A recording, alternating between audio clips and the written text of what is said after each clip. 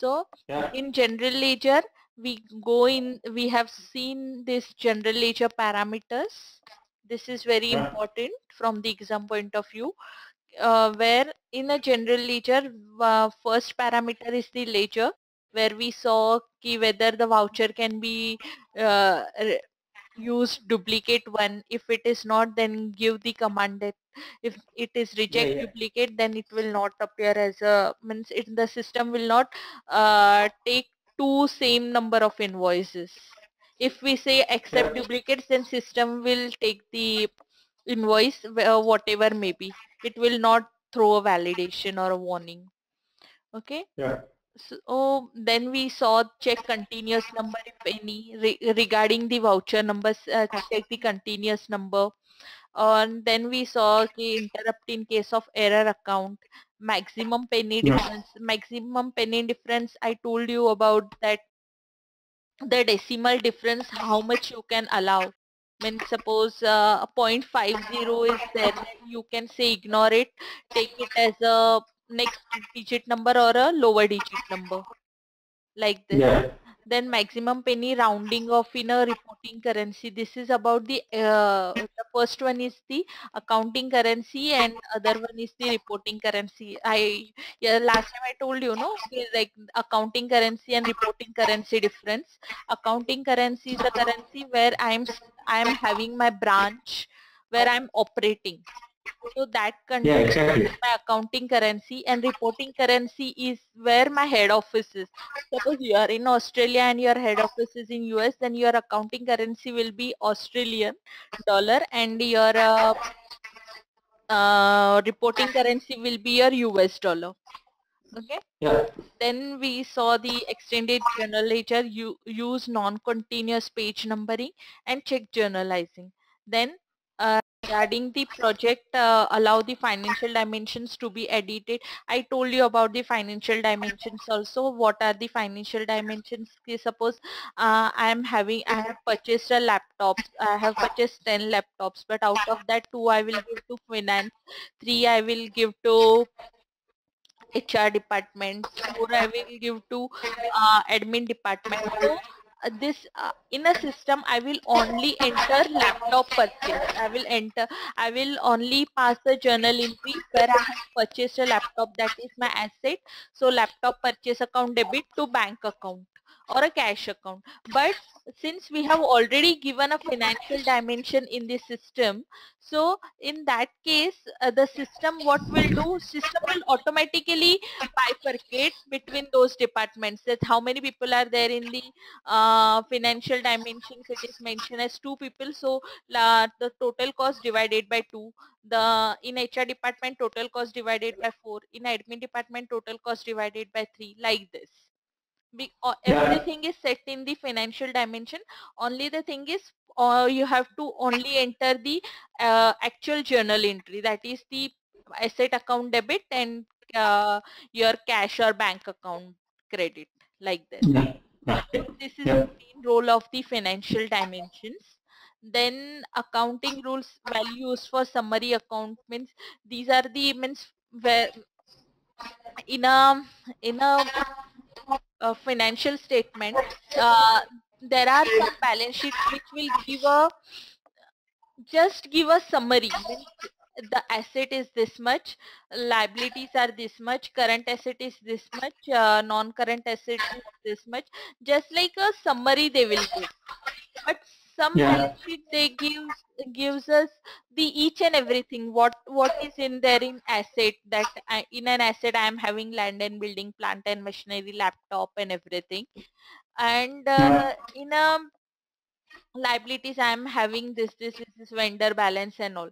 So th- this this accounting rules is for whether in a financial dimension you have to give just a summary account that is the just you have to show ki okay i have allocated this much to this department this department this department or you want the person wise also means personal wise also that is in finance department two people are there for this person only it has allotted like this Okay. Yeah. Okay, so this is the main purpose of this value used for uh, summary account. Then transaction reversal, if if uh, any uh, transaction needs to get reversed, then uh, you you want a warning message whether the whether um, system should show you the warning message that you are reversing a transaction or like that. Because sometimes it happens be uh, by ignorance only we click on the uh, reverse button. At that time what happens is suddenly it got reversed. But whether we want such a warning message should come at least uh, by ignorance also it, if I click on that button then it is not happening that transaction should get reversed. So the yeah, yeah. warning message uh, this uh, this field is there. Then accounting rules to use use uh, posting This is used for the commitment accounting. When we'll go to the commitment accounting, no, we have a topic. Yeah. Uh, mm, there is a separate module for this commitment accounting. At that time, I will tell mm-hmm. you what is what is exactly it is. Okay. Then I told yeah. you about the fiscal year close means the at the end of the year, last day of the year, that is the 31st March. So that is delete close of year transaction during transfer means that I told you, no, like uh, whether I um, uh, while transferring from P&L to balance sheet, I want to delete all the transactions, which means the P&L account is the total is the balance between my debit and credit. Correct? No. Yeah. So whether I want to delete all those transactions and only transfer the amount. Suppose uh, I got a hundred hundred rupees amount, but that is includes 100 of transactions. So i want to delete means what system is asking at the time of transfer whether you want to delete all those transactions 100 of transactions and only uh, only i will transfer a balance just a numeric balance yeah. to a balance sheet. So nobody wants it actually. If any anybody is like rigid and all they can um, they can uh, delete it but nobody wants to delete all those transactions correct no the system will not yeah. it.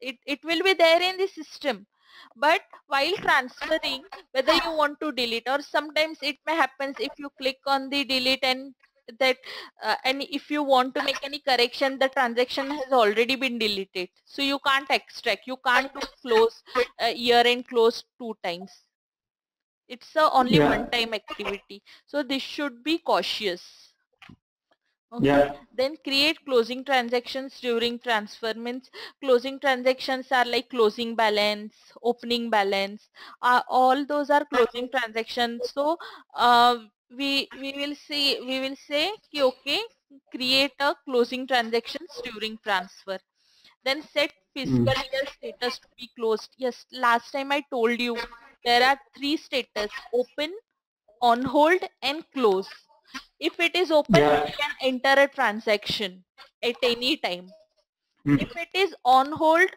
for a temporary period you you can't enter a transaction but if it is a close you can't enter a transaction but you can't open that fiscal year again yeah yeah remember exactly. i told you so yeah uh so here it, it it should be cautious that it should not be uh means unless and until everything is goes fine and your balance sheet got signed and everything till that time you should not click on this set fiscal year to be closed because once it yeah. is closed it will not open again so if you want yeah. if if suppose uh, 31st December is my last means closing closing date of the, uh, closing date of that year and uh, I want to reverse some transactions or I want to make provisions on 5th of, uh, 5th of January. Then I can put 31st December on hold. I will not close it. I know some transaction needs to be entered. So I will 5th uh, or till 5th of Jan on hold i can't keep it as a open also because if i will keep open anybody can enter a transaction in that fiscal year. I don't want that also. So on a 1st of january i will keep 31st december as a on hold. And when on 5th of January, when I will enter some transactions as of 31st of December, I will open that open that fiscal year. For entering you, the fiscal year should always be open. For entering any transaction, you can only uh, enter only if the fiscal year is open. If it is Yeah. on hold, you can't enter a transaction. On hold can be open, but close cannot be open. Exactly. Yeah. Then voucher number must be filled. That and that is the important one. That's why it is ticked.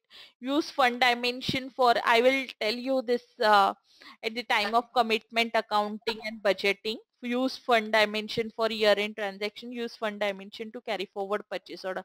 Purchase order means if any purchase orders are there, then we have to see ki, uh, what are the purchase orders. Uh, suppose uh, I'm having a purchase order, but it is not it invoice. Yesterday only I got a purchase order, so it is not it invoice. So what I will do, I will take this purchase orders also in my purchases only Yeah. So that my balance sheet will not get affected because suddenly on 1st of Jan I will show huge purchases that will not be happen then. If anywhere anybody will ask no in first month only you done so much purchases like this. So in last year only we will include this purchase orders also. Yeah.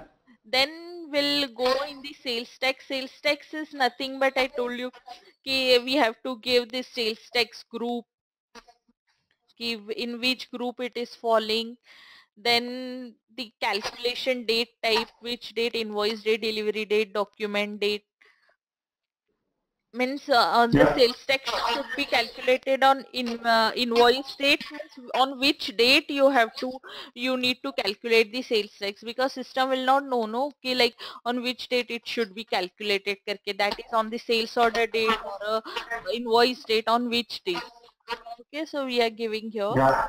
then calculation method the, in a sales order you must have seen uh, in one in one sales order there are 10 10 items. So those items in the AX it is called as lines. Yeah. so those lines are there no? That lines you can you you can give the sales tax whether you want on a total amount that is the thousand rupees or you want 20 30 the sales tax on each item so you can Yeah. you can specify over here then amount includes sales tax then apply if any US taxation rule is there then we will say yeah, apply US taxation rule. Condition uh, if you want to give any conditions uh, conditional sales tax then all then also you can give then check uh, sales tax group uh, which group it is calling none warning error or tax direction requirement or validate tax code this is related Mhm. to the ta- any taxes there that is CST, VAT and all.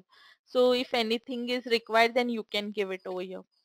Then in this Yeah. uh, tax options whether on a sale you are giving any cash discounts or like this or customer cash discount, vendor cash discount, payment, invoice, special report. Yeah, yeah, yeah. tax options are there then inventory dimensions uh in i last time also i told you no ki like uh, if i'm having any warehouse in warehouse in which trip which corner means in which uh, shelf it is uh my item is lying that that i will come to know from the inventory dimensions. Just like financial dimensions for the departments inventory dimension is for the uh, items which I'm purchasing or selling. So where yeah. I'm keeping my items or where my item should go for a sell that I will come to know from the inventory dimensions. Then Yeah. will I yes last time I uh, shown you this number sequence also now how to generate this number sequence this is important. Whenever you create a new company this without a number sequence you can't move forward because number sequence is important for each and every uh, journal batch number if you want to give any journal entry number then it should be one unique number. So for that unique number first of all you have to tell to the system ki like uh, i want uh, journal number from 1 to 10 only or i want the P and uh, balance sheet number from uh, 11 to 20 only so once you will give this system will automatically do its work whenever you do any transactions or you create uh, generate any financial statements like that So it, this number sequences are automatically this what I- what I can see is comes when you create a company or you have to create from the scratch. Are they are these are default? No no no these are not default you have to create it l- Ah, Actually, okay. it is coming default also. But if the company Yes. wants it specifically that suppose this, this it is say, eh, this first first four numbers is your what you you are in general ledger module correct? Yeah, yeah, yeah. Okay, okay. So it's Genie. Okay, general. So Yeah, yeah. Got it, got it. Yeah. So whatever is in your this this module no this number sequence related to Yeah. this module the number sequence will be generated here and the the recognition will be so you will come to know that this this journal batch number is from the general ledger module so if you want to change or anything you just have to go right click right just go here right click here go in view details the form will get open. And if you want to edit it somehow you can do this. What you want. Okay